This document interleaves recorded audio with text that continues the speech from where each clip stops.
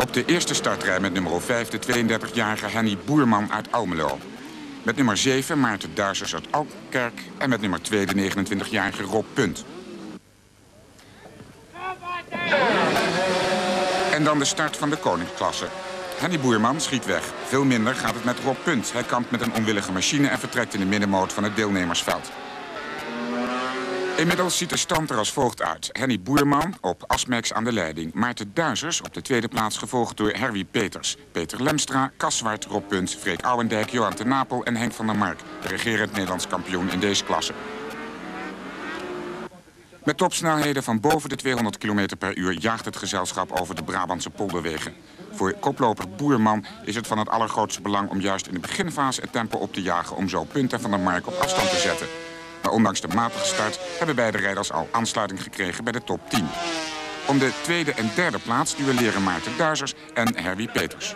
Maarten Duizers heeft inmiddels Herwie Peters voor moeten laten gaan... en op Punt kijkt het voor hem rijdende duo reeds in de rug. Eerst passeert Punt Duizers, vervolgens is Herwie Peters aan de beurt. Later in de race valt Maarten Duizers uit met machinepech. Herwie Peters geeft nog enkele plaatsen toe en komt op de vierde plaats.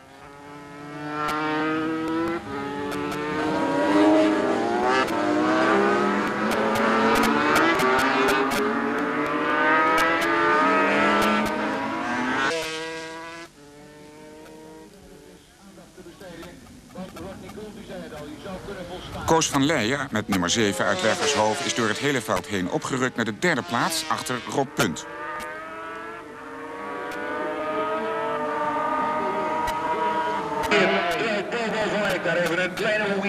De voorsprong van Boerman met nummer 5 bedraagt ruim 15 seconden... zodat hij zich nog weinig zorgen meer hoeft te maken dat zijn collega's hem nog zullen inhalen.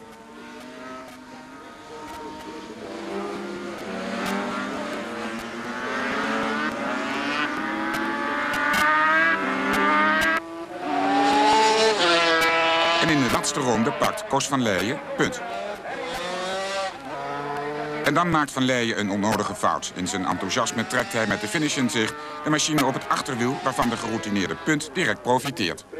De uitslag, eerste Henny Boerman, tweede Rob Punt en drie Koos van Leijen. En de snelste ronde in de race werd afgelegd met een gemiddelde snelheid van ruim 147 km per uur.